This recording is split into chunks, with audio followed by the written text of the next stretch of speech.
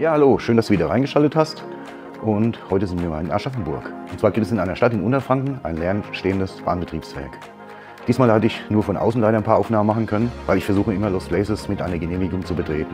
Das Gelände gehört aber der Deutschen Bahn und da ist es wirklich verdammt schwer, äh, da eine Genehmigung zu bekommen. Also ich hatte auch mehrere Anfragen gestartet und äh, hat leider bis heute nicht geklappt, was ich eigentlich schade finde.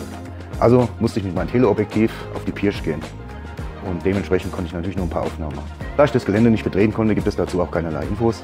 Das Einzige, was ich euch sagen kann, ist, dass es 1893 erbaut worden ist und 1988 wurde der Betrieb wieder eingestellt. Wenn ihr euch für die Geschichte des Bahnhofs interessiert oder des Bahnbetriebsgeländes, dann habe ich euch unten was verlinkt, wäre auf bahngeschichte.de und dann habe ich euch noch ein YouTube-Video verlinkt von meinem YouTuber, der auf dem Gelände mal war.